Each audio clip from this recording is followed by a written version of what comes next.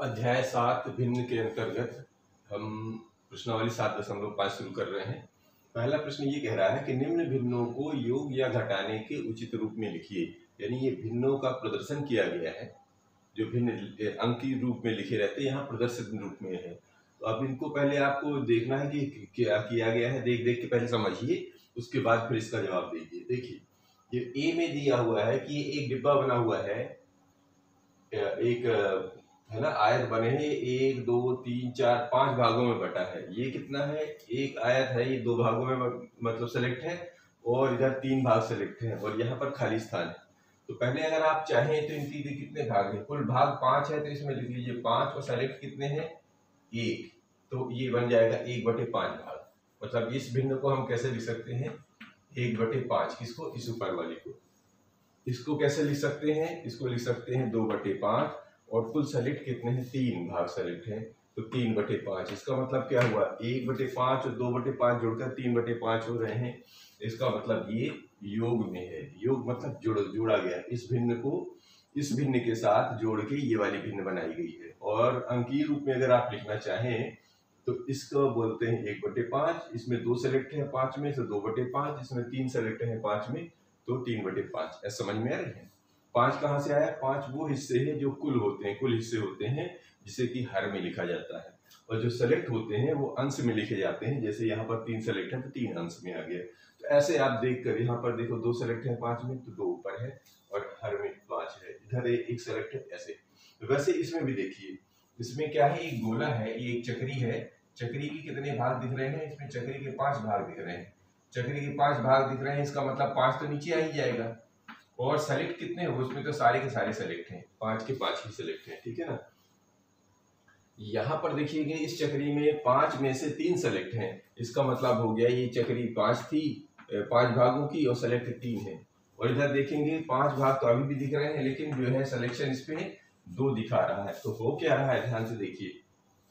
पाँच भाग में से तीन भाग सेलेक्ट हुए तो दो भाग बचे। इसका मतलब ये हो गया कि इस चक्री में से इस चक्री के दो भाग खाली कर दिए गए हैं, यानी जो सेलेक्ट थे उनको हटा दिया गया है। तो जो बचे हुए भाग हैं इधर तो कैसे बना? पाँच में पाँच पूरे तो ये पाँच बटे पाँच। इस पाँच हिस्से में तीन सेलेक्ट तो तीन बटे पाँच। इस ऐसे पाँच हिस्से में दो सेलेक्ट तो दो बटे पाँच। इसका मतलब ये हुआ पाँच हिस्से में से तीन हिस्से को सेलेक्ट किया गया है, अर्थात दो हिस्से छोड़ दिए गए हैं। जो हिस्से छोड़ दिए गए थे, वो यहाँ के सिलेक्शन में दिखाए गए कि ये हुई वो दो हिस्से हैं जो यहाँ से हटा दिए गए समझ में आई? तो इसको हम भिन्न का घटाना कहेंगे, ठीक है ना? भिन्न का व्यवकलन इस पे देखेंगे। एक डिब्बा है, इसमें छह बॉल रखी हुई है, जिसमें से दो सेलेक्ट हैं। तो इसको हम कितने लिखेंगे? इस डिब्बे को छह है और इसमें दो सेलेक्ट हैं।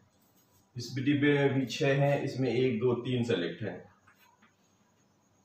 इस डिब्बे में कितने हैं? एक, दो, तीन, चार, पाँच। पाँच सेलेक्ट हैं और हैं कुल बॉल छ क्या हो रहा है? देख के बाद देखिए जरा। दो बाल इधर, तीन बाल इधर, कुल पाँच बाल इधर। इसका मतलब ये जुड़ गया है। क्या हुआ भिन्नों को जोड़ दिया गया है। यानी दो बटे छ तीन बटे छ जोड़ के पाँच बटे छ बन गया। देख समझ में आ रही है? दो बाल इधर से सेलेक्ट तीन बाल इधर से सेलेक्ट कुल मिला के पाँच बाल इधर से सेलेक्ट दिखाई दे रही है। इसका मतलब दो बटे छः तीन बटे छः मिलकर पाँच बटे छः हो गया। इस तरह ये हमारा पहला भिन्न भिन्न का पहला। तो योग के घटाने और उचित के रूप में लिखे तो बिल्कुल यही उचित रूप ये योग है। और अगर लिखना है धन माने योग, और घटाना लिखा है तो हम भी इधर ये घटाना हो गया। और ये योग हो गया। ये है उचित क्रम, ठीक है? लेते हैं दूसरा।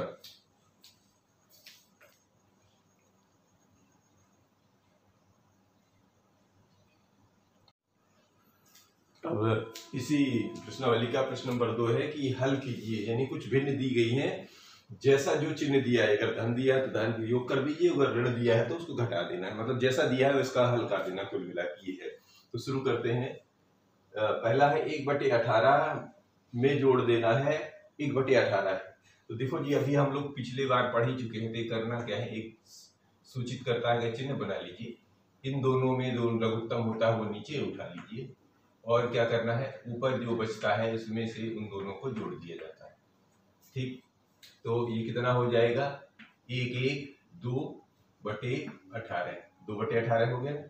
अब यहाँ से क्या करना है? जो कॉमन होता है, उसको काट दीजिए। अगर काटने का भी थोड़ा प्रैक्टिस कर लीजिए यहीं पर। सो दो एक कम दो और दो नाई अठारह। यानी अब बचा कुल मिला के आपका एक बटे नौ।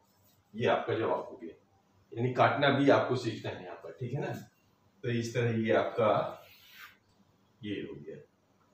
हम इसको ऐसे बांट देते हैं तो इससे देखने में समझ में आए। यानी पहला वाले का जवाब हुआ, दो बटे अठारह किसे बन गए? इसके सबसे सरलतम काटते हुए इसको अंत में ले आइए तो ये सबसे सरलतम भिन्न बन जाएगी।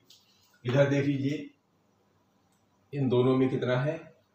लघुत्तम आया इनका पंद्रह क्योंकि आधार सामान्य नहीं है। हर जो एक जैसे होते तो अंश में कुछ सीधे सीधे वो जोड़ दिए जाते हैं। तो आठ और तीन, और आठ और तीन को जोड़ेंगे तो आठ और तीन, ग्यारह बटे पंद्रह। आंसर के समय में चाहे ये ना भी लिखो तो ठीक है। या लिख दो तो अच्छा है। ये सूचित जहाँ तक आपको हल करना वहाँ तक तो सूचित करता है, चिन्ह लगा दीजिए। जैसे ही हल रुक जाए, वो बराबर का चिन्ह लगा लो। तो आठ, तीन, ग्यारह बटे पंद्रह दोनों में कोई चीज़ उभयनिष्ठ नहीं है, यानी दोनों अभाज्य संख्याएँ हैं, इस, ये सह अभाज्य कहलाएँगे ना, क्योंकि कट तो रही है किसी से तो ये सह अभाज्य हो गई तो ये अब काम नहीं होगा इनका। मतलब यही इसका सरलतम रूप है। इधर देखिए, इन दोनों में है कॉमन, यानी कि लघुत्तम सात तो अब क्या हो जाएँगे, ये सात और ये चिन्ह पाँच ऋण का है तो ऋण घट गया। तो सात में से पाँच गया सात में से पाँच गया दो, और ये सात तो पहले से है। तो इसका हल जो हो गया दो बटे सात हो गया। इसमें देखिए, इसमें है, ये बाईस दोनों का है, लघुत्तम। जब हर एक जैसे होते हैं तो इनको केवल जोड़ दिया जाता है। ये लो जी जुड़ गया। इक्कीस और एक बाईस हो जाता है। बाईस बटे बाईस। अब इधर देखिए जो संख्या अंश और हर दोनों में एक जैसी हो तो क्या हो जाता है? एक ही बार कटता है। इसका मतलब ये हुआ, बाईस एकम बाईस बाईस एकम बाईस, एक बटे एक का मतलब ये हो गया कुल एक। यानी एक बटे एक नहीं लिखा जाता इसका मतलब तो यही हुआ ना? ये जो बना, वो बना एक बटे एक। और जब हम आंसर लिखेंगे तो एक बटे एक नहीं लिख के केवल एक लिखता, लिखा जाता है। इसका मतलब ये होता है। ठीक है ना? अब आज लेते हैं इसी के आगे वाले पार्ट।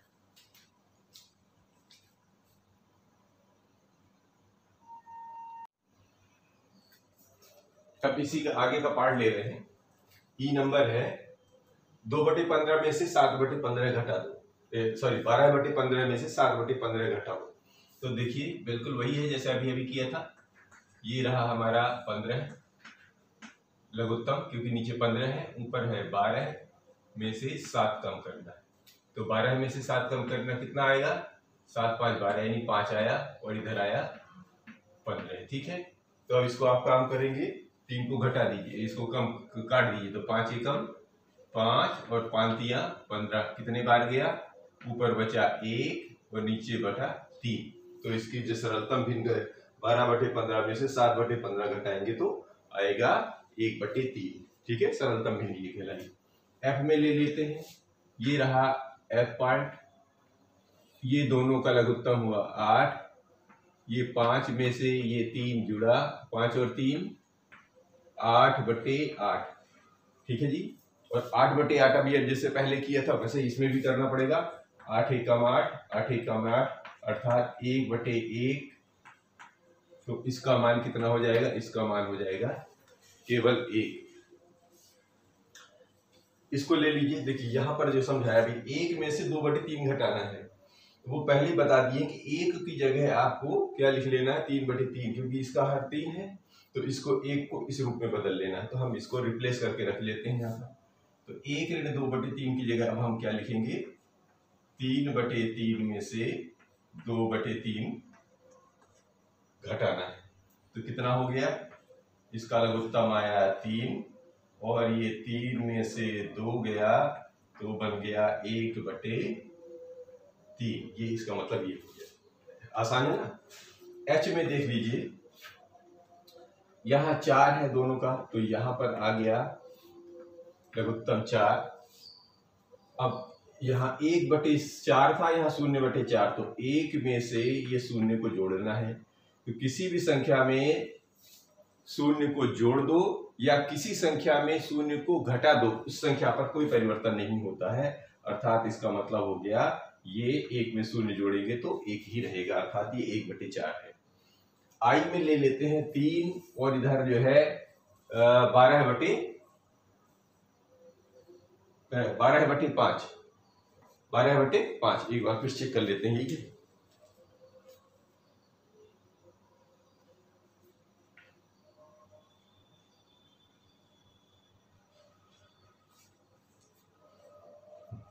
हाँ? तीन बटे पाँच है ठीक है, कोई दिक्कत नहीं तो अब एक काम करना है, इसको जब कोई लघुत्तम में कोई अंक नहीं होता मतलब जैसे कि अंश तो दिया है, लेकिन उसका हर में कुछ नहीं तो जैसे ये भिन्न है तो इसको भिन्न बना लेते हैं। भिन्न बनाने के लिए दी हुई संख्या में से को, एक को लगा लेते हैं हर में तो वो उससे फ़र्क तो पड़ता नहीं। इसलिए इसको भी इसी अनुपात में बना लिया हमने। अब क्या करना पड़ता है? जैसे इनका लघुत्तम तो हमको बने बनाया मिल जाता था, लेकिन यहाँ पर क्या करना पड़ेगा? एक और पाँच का लघुत्तम निकालेंगे तो पाँच आएगा। ठीक है? ये हमको ध्यान रखना पड़ेगा। कैसे करें? एक और पाँच का अगर लगाएँगे भी तो पाँच ही आएगा। अब क्या किया जाता है? ये इधर वाली संख्या है, इसको उतार लिया जाता है। गुणे का चिन्ह लगाते हैं, इस वाली एक का इस पाँच में भाग दे दिया। जाता है जितनी बार जाएगा, वही लिख देते हैं। तो एक पंचे पाँच। ऋण अब यहाँ बारह उतारेंगे। अब पाँच गुणे का चिन्ह लगाएँगे और पाँच का इसमें भाग देंगे। तो जितनी बार जाएगा, वो लिखेंगे। तो पाँच एकम पाँच। अब क्या आ गया? अब एक आध लाइनें बढ़ जाएँगी इसमें। तो बढ़ा दीजिए, क्या दिक्कत है? तो पाँच में तीन का गुणा पाँच, तीन पंद्रह और बारह में एक का गुणा बारह एकम बारह आप घटा दीजिए। तो बारह में से पंद्रह में से बारह गया तीन और इधर बचा पाँच। यानी कि ये वाली जो भिन्न थी, वो थी तीन बटे पाँच। इसको तीन में से बारह बटे पाँच घटाएँगे तो आएगा तीन बटे पाँच, ये इसकी भिन्न हुई। चलिए लेते हैं। क्वेश्चन नंबर तीन।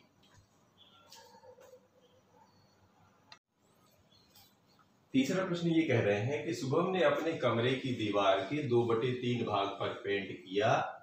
उसकी बहन माधवी ने उसकी सहायता की और उस दीवार के एक बटे तीन भाग पर पेंट किया। उन दोनों ने कुल मिलाकर कितना पेंट किया? तो इसका हल ऐसे करेंगे, पहले जो जो दिया है वह शुरू कर देते हैं। तो शुभम ने कितना पेंट किया? शुभम ने पेंट किया है। शुभम ने पेंट किया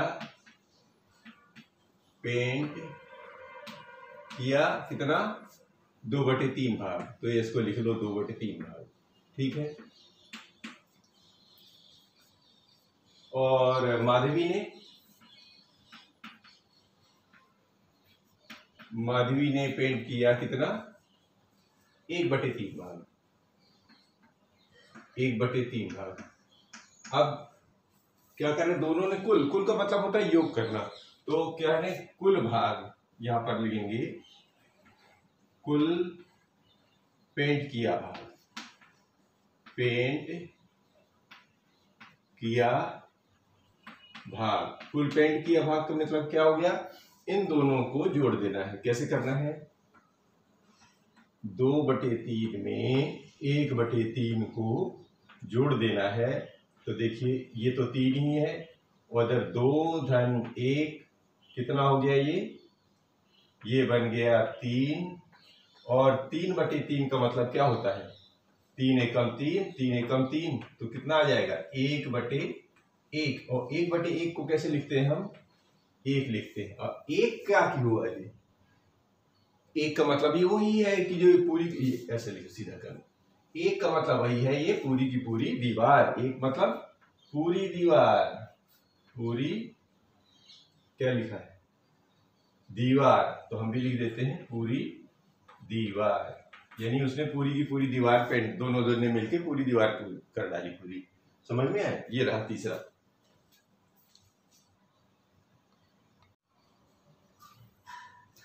अब क्वेश्चन चौथा ये कह रहे हैं कि रिक्त स्थानों को भरिए। ए है सात बटे दस में से क्या घटा दे? ये खाली स्थान का मतलब में कुछ घटाना है तो मिल जाए तीन बटे दस। इसी तरह दूसरा है कि खाली स्थान में से कुछ तीन बटे इक्कीस घटाए तो मिल जाए पाँच बटे इक्कीस। तो कैसे करना है? देखिए, जो चीज़ चाहिए होता है, उस चीज़ को अलग कर लो तो आपको समझ में आ जाए। इस डिब्बे को चाहिए ना? डिब्बे डिब्बा चूँकि ऋण में है तो ऋण को उस पार ले जाओ तो ये इसको इस पार ले आओ। कैसे हो जाएगा? ये सात बटे दस, इसको इस पार ले आइए तो ये बन जाएगा तीन बटे दस, और इस डिब्बे को उस पार ले जाएँगे तो ये धन में बन जाएगा। इसका मतलब ये हो गया। यानी कि सात बटे दस तो वैसा ही है। तीन बटे दस को हम पक्षांतर करके ले आए तो इधर धनात्मक था तो ऋण हो गया, और इसको पीछे तरफ़ ले गए तो ये डिब्बा अभी बचा है। तो इसका मतलब जो इसमें से हल करके निकलेगा, वही इस डिब्बे में आएगा। तो क्या निकल रहा है? जरा देख लेते हैं। तो इधर से ये आया लघुत्तम दस। ये सात में से तीन घटा। ये डब्बा बता रहा है कि अभी निकाल के दिखाओ, अभी पूरा नहीं आया। तो सात में से तीन गया तो कितना आया? चार। और इधर बचा दस। इसका मतलब है इस डिब्बे में आएगा चार बटे दस। यानी यहाँ पर क्या लिखेंगे हम? ये वाला डिब्बा। कितना लिखेंगे? चार बटे दस। ये हमारा जवाब कहाँ से आया? ऐसे आया। यानी जो डिब्बे में से जो भरना था, यानी खाली स्थान में जो भरना था, वो ऐसे निकलेगा। समझ में आ रही? इसको कैसे हल करेंगे? देखो, इसमें डिब्बा इस तरफ़ है तो इसको बचा ले, इसको उधर ले जाइए तो ऋण का जो है उधर धन में बदल जाए। क्यों? जब पक्ष बदलते हैं तो चिन्ह बदल जाते हैं। यानी संक्रिया ऋण की है तो धन में हो जाती है और धन वाली ऋण में बदल जाती है। देखिए, इसको भी ऐसे करिए। इसमें ये पक्षांतर के समय डिब्बा लिया और उस तरफ़ चले गए। पहले तो क्या था, पाँच बटे इक्कीस था तो वो तो लिख लिया आपने। और ये वाली चिन्ह क्या इधर आके धन बन गई। तो ये बन गया तीन बटे इक्कीस। अब ये डिब्बा तो वैसे ही रहेगा, क्योंकि इसको तो अभी ज्ञात ही करना है। जब तक ये सरलतम भिन्न ना आ जाए, तब तक आपको हल करते रहना है। तो ये बन गया इक्कीस, ये पाँच और ये धन तीन। फिर ये रहा डिब्बा। यहाँ पर पाँच तीन, आठ बटे इक्कीस। यानी कि इस डिब्बे, अब इससे सरल नहीं हो सकता। इसका मतलब ये, यही वाला डिब्बे में भरना है। यानी आठ बटे इक्कीस।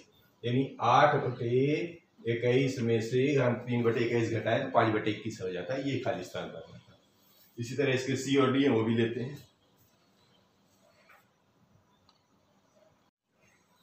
इसी का सी पार्ट है।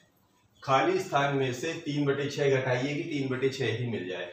तो चलो, ले चलते हैं उस पर। ये रहा खाली स्थान। और ये बराबर किस पार आ जाइए? ये तीन बटे छह है। और इसको इस पार ले आएँगे तो ये ऋण का था तो इधर आके ये धन में बदल जाएगा। तो ये बन गया तीन बटी छ इसका मतलब अब इसको हल कर लीजिए। इसको जैसे हल करते हैं तो क्या मिलता है? ये लघुत्तम आया छ इधर तीन और तीन जुड़ गए। फिर तीन और तीन को जोड़ दिया तो छ बटे छ ये डिब्बा अभी भी हमारा खाली है। या तो छह बटे छह लिख दीजिए या सरलतम भिन्न लिखना है तो छह एकम छह छह एकम छह अर्थात एक बटे एक। या तो आप छह बटे छह लिख दीजिए या पूरा पूरा एक लिख दीजिए। क्या लिखना है? या तो पूरा पूरा एक लिखना है या छह बटे छह लिखना है। हालाँकि सरलतम रूप लिखा जाता है तो एक में से घट जाएगा तो वो निकल आएगा। ठीक है? यानी खाली स्थान में हमको एक लिखना है इसमें। यहाँ देखिए, यहाँ है डी में, ये जुड़ा हुआ है। मतलब इसमें क्या जोड़ दें इस डिब्बे में क्या लिखा है कि पाँच बटे सत्ताईस में जुड़ जाए तो बारह बटे सत्ताईस मिलेगा। तो करना क्या है, इस डिब्बे को बचा लेना है। और इस बारह बटे सत्ताईस के साथ में इसको ले जाना है उस पार क्या करेंगे? ये धन से चला जाएगा तो ये गण जब पाँच बटे सत्ताईस हो गया। अब फिर वही प्रक्रिया, ये रहा हमारा डिब्बा। इधर आया सत्ताईस और ये बारह में से पाँच कम कर दिया तो बारह में से पाँच कम करेंगे तो सात बटे सत्ताईस। अर्थात ये डिब्बे में क्या लिखा जाएगा? इस डिब्बे में सात बटे सत्ताईस लिखा जाएगा। यानी यहाँ पर सो था सात बटे सत्ताईस था, जिसमें पाँच बटे सत्ताईस जोड़ने पर बारह बटे सत्ताईस होता है। इस तरह ये चौथा सवाल खत्म होता है। लेते हैं पांचवा।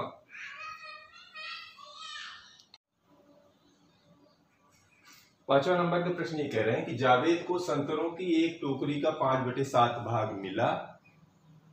टोकरी में संतरों का कितना भाग शेष रहा? इसको बताना है। तो कुछ इसको इस तरह लिखना पड़ेगा।